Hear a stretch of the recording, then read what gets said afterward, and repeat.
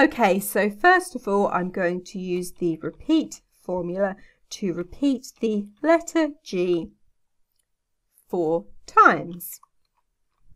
And then if I double click to send this down, I end up with the letter G repeated a different number of times depending on what the cell reference is.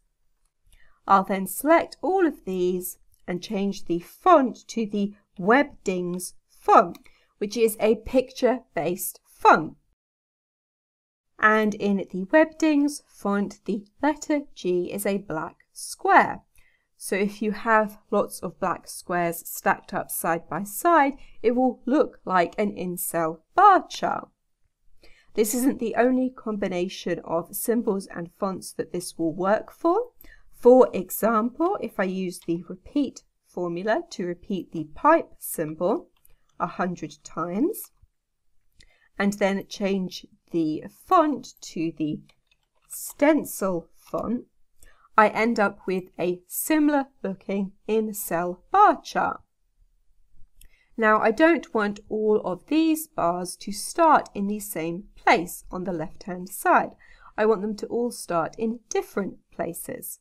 So in order to do this, I'm going to use another repeat formula and combine these together using an AND symbol. And in the first repeat formula, I'm going to repeat a dash this number of times and enter. And I now have this little ribbon here. If I double click and send it down, I have a different number of ribbons in front of each of the bars, depending on what the number is in the start column. But I don't want to be able to see the ribbons, so I'm going to change this to a space and enter and then double click and send it down. And I now have all of the bars starting in different places. However, if this is 1 and this is 4, then this bar here should end at position 5.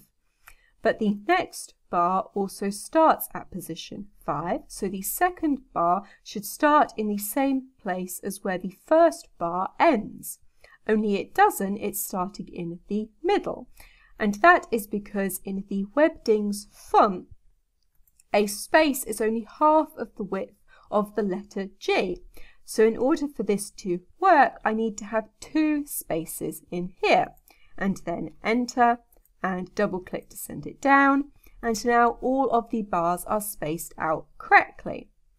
I can change the formatting of this by changing the font color, that changes the color of the bars. And I can also change the background by changing the fill color. And I can add in a border.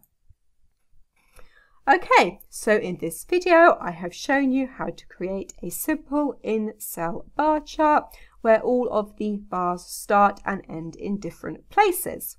And that is everything.